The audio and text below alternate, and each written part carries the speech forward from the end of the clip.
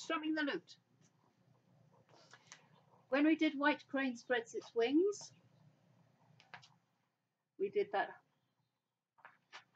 half step, heel off the floor.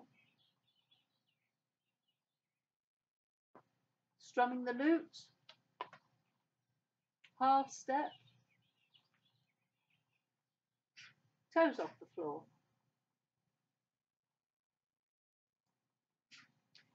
We have done Get myself in a muddle. Our third brush knee. Strumming the lute, we're moving into an arm lock. So imagine there's a, a, an arm coming at you. You extend a little and draw it backwards.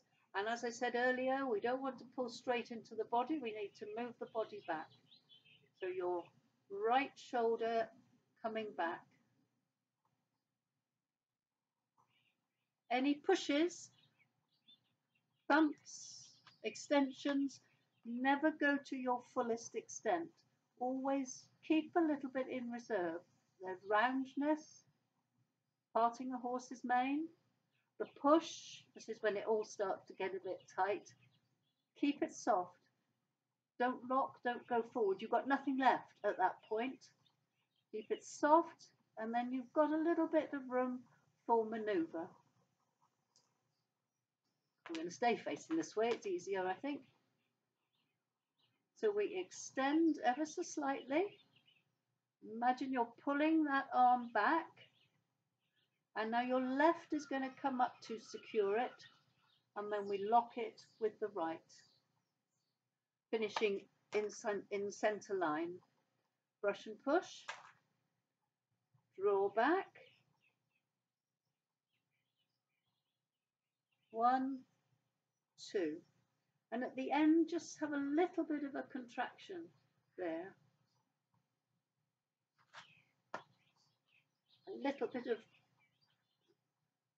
force.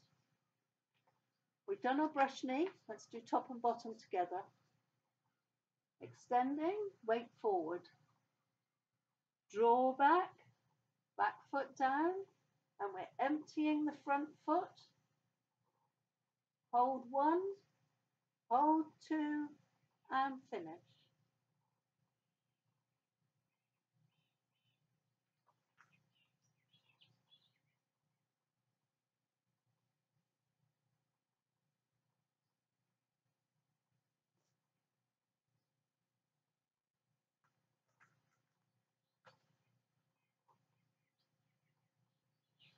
Strumming a lute.